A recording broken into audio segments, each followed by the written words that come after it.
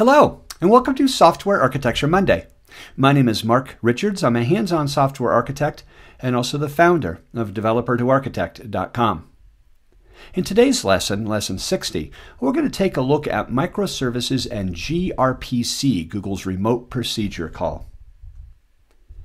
When we take a look at inter-service communication, in other words, uh, the need for one service to talk to another, we've got a variety of options. We could make RESTful calls. Uh, we could use inter-service calls via messaging. Um, the other option is we could leverage uh, Google's remote procedure call, gRPC. Let me talk about doing that piece here. Because when we look at gRPC, Google's remote procedure call. Uh, let's say in our example here uh, that the customer demographics service on the right hand side has all the profile and demographics information about our customers, you know, name, address, um, all sorts of profile information. Well, the customer wish list contains all of the wish list items. But I need to communicate with the customer demographics because I have the customer ID, but I don't have the name of the customer. And unfortunately, every time we retrieve the wish list, correspondingly, I need the name of the customer. It's part of my contract. So I need to communicate with the demographics. Using gRPC gives us a certain advantage, everybody, because I can get up to 10 times performance increase over latency than the same kind of RESTful call. Let me show you how that works. And so gRPC leverages HTTP2 for a persist persistent connection, and sitting on top of that is the protocol buffer or protobuf, as the IDL is communication between that. Um, that's how we get such an incredible performance gain using gRPC. So you might say, well, why wouldn't I use gRPC? Well, we start digging into how it's used, we start to see the trade offs. Again, um, one of those underlying themes in most of my lessons about that architectural thinking. Um, thinking like an architect is always analyzing the various trade offs associated with those benefits. A 10 times performance increase over REST in terms of latency. And so if my round trip RESTful call to the demographic service is 100 milliseconds, um, gRPC can give me up to or better than 10 milliseconds round trip call. But let's um, look under the covers and see how it works. You see, because with gRPC, we have something called a gRPC server. Uh, that customer demographics, when we download gRPC, um, we would install that gRPC server as part of that customer demographics microservice. Correspondingly, here, I need a gRPC stub representing that customer demographics, and herein lies the trade off associated with that really fast performance. Because now I've further coupled these services.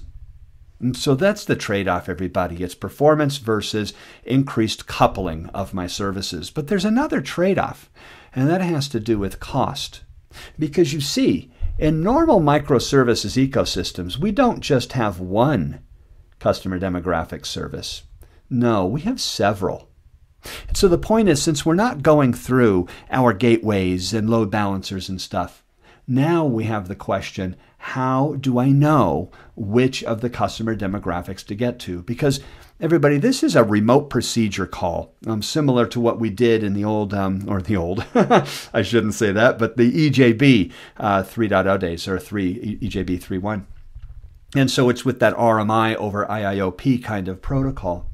Let's see how this would work from a load balancing perspective, because actually what we need is not necessarily gRPC, but something called gRPC-LB.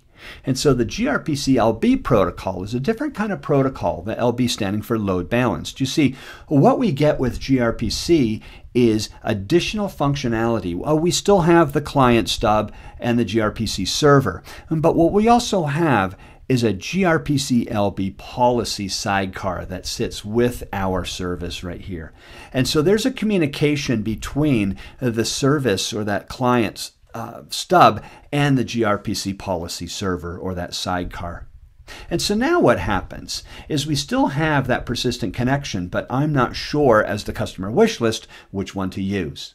Um, in most implementations, at least that I've been involved with with gRPC, um, we've used something called Traefik. Now that's not Juniper traffic networks, but T R A E F I K. You see, we need some sort of load balancer, but that load balancer must be gRPC LB aware or GRP, gRPC LB compliant. Uh, Traefik is one such load balancer. And so what happens is there's communication. So Traefik is continually looking at all these customer demographics and finding out you know, based on various types of load balancing policies, um, maybe the most healthy, which one's next available, so on and so forth. So that when that customer wish list wants to invoke some functionality in that customer demographics through a remote procedure call, it talks to the policy server. The policy server is continually communicating also with Traefik to know that the one you should go at is, in fact, the first one there. And that's exactly how the load balancing policy works. Again, the trade off here is really associated with much more complexity, um, but also cost. And we also have those persistent connections kind of sitting there between those. And so, really, what I wanted to do in this lesson was show another third alternative for communicating between microservices, but more importantly, those trade offs about when to use gRPC LB and when not to. Performance versus coupling slash cost. Another place that's very common to use gRPC LB or re- Google's remote procedure call is with something called data services, where we actually front a shared data repository between microservices. Uh, a lot of times we may have a single service component or a single microservice fronting that data. That's called a data service. Because those services are so tightly bound anyway, that's a really good opportunity to leverage gRPC because not only do I don't care much about that tight binding because all the services are tightly bound, but now I increase that performance problem associated usually with those data services. Uh, for more information, you can go to the Google's Remote Procedure Call or gRPC site um, by going to grpc.io. Uh, Traefik is one such load balancer that does support uh, the gRPC LB protocol. Um, so I've limited listed it there as uh, Traefik, And certainly, all of these lessons are located at Software Architecture Monday on my website, developertoarchitect.com slash lessons, where every other Monday you can get another lesson in software architecture. I do offer three private training classes that you can uh, bring into your company. I have a three-day software architecture fundamentals, which is a hands-on course, a one-day microservices architecture and design, and also a hands-on one-day analyzing software architecture class. Uh, some of that material is made available publicly or online. And so if you go to my upcoming events portion of my website, which I've listed here, um, you can kind of see at the next conference or public event uh, that I am teaching or training at. So this has been Software Architecture Monday, Lesson 60, Microservices and the Use of gRPC. Again, my name is Mark Richards, and stay tuned the following Monday for another lesson in software architecture. Thank you so much for listening.